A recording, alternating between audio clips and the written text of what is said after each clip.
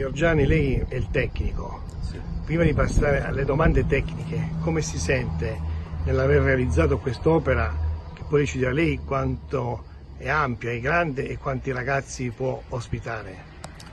Ah, come mi sento eh, chiaramente c'è una eh, soddisfazione personale ma non come, come, singolo ma come facente parte di una comunità.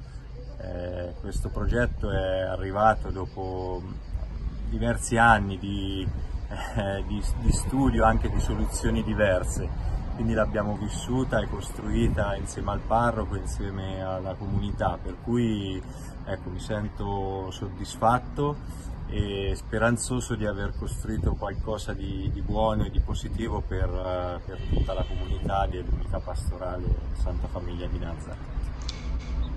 Che ospiterà questo oratorio, quanti ragazzi può riuscire ad ospitare? Allora, potenzialmente eh, molti ragazzi, diciamo, perché le aule sono eh, grosse e, e abbondanti.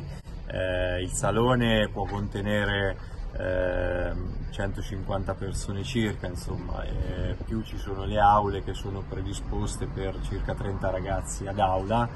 Eh, che sono? Abbiamo abbiamo sei aule eh, che possono diventare nove grazie a delle pareti mobili che possono, sono state predisposte per dividere in due alcune aule per dare una versatilità maggiore a tutta la struttura. Quindi c'è una bella capienza, è una struttura importante e direi polivalente. Diciamo. Lei mi accennava prima nella visita a dei sistemi anche per quanto riguarda l'ambito eh, del risparmio energetico, sì.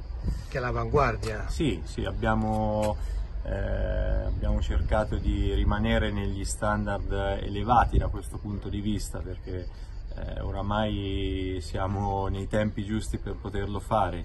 Eh, abbiamo energia prodotta mh, con le fonti rinnovabili, quindi abbiamo 10 kW di impianto fotovoltaico nella copertura, abbiamo un impianto efficiente eh, perché è costituito da pompa di calore, riscaldamento e raffrescamento estivo a pavimento e eh, oltre questo direi che anche un, uh, un buon impianto diciamo, di illuminazione perché abbiamo comunque questo grazie anche alle, alle, ditte che ci hanno dato una mano negli appalti a, a ottimizzare le cose abbiamo un, uh, un, impianto di illuminazione completamente a led per cui bassi consumi energetici e grossa efficienza uh, dell'impianto.